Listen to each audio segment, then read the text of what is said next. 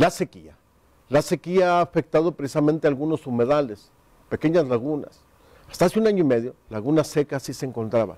Era un verdadero Edén, donde no solamente llegaban aves silvestres, aves migrantes, precisamente a nutrirse de agua, a alimentarse incluso de algunas algas, sino también la presencia de muchísimos peces que crecían a gran tamaño al grado de que muchas personas iban, iban a, ¿cómo se llama?, a pescar.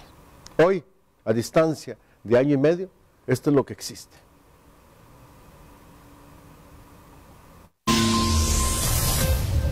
Lo que en su momento fue una de las presas, donde afortunadamente esto estaba copado de agua. Hoy en día, en este 2023, y ya desde el año pasado, los efectos de la sequía produjeron que esto se haya secado. Hoy, ni una gota de agua. Hoy, en vez de presa, los vecinos convirtieron en un campo de fútbol. Aquí salen mil campos.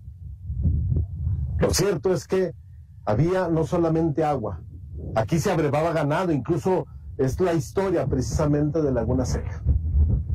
En estos momentos, la ausencia de lluvias del año pasado generó que hoy ni una sola gota se tenga aquí. E incluso desde el mismo 2021, las pocas lluvias, aunque fueron profusas en algunos lugares, el agua no entró. Los ojos de agua que se encuentran acá para el poniente tampoco ya no chorrean el vital líquido. Esto es parte de la sequía que se vive en el territorio zacatecano. Y para muestra, este botón. Este sitio servía no solamente para albergar peces, sino aquí se hidrataban muchas de las aves migrantes que vienen desde Canadá y van hasta el sur de Latinoamérica.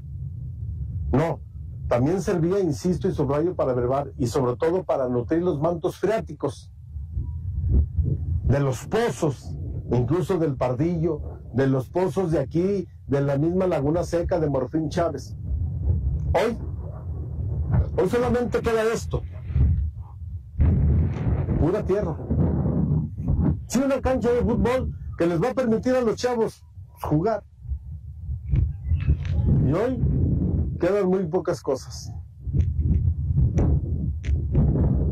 Hay que esperar que en este año, de acuerdo a la rueda salomónica, que se espera que sea un año fructífero en aguas, este sitio tenga la oportunidad de comenzar a recibir el vital líquido. Pero también esta es la oportunidad para que los usuarios de esta presa, o por lo menos las autoridades, le den una limpiada a toda esta tierra, se la lleven, desasolven.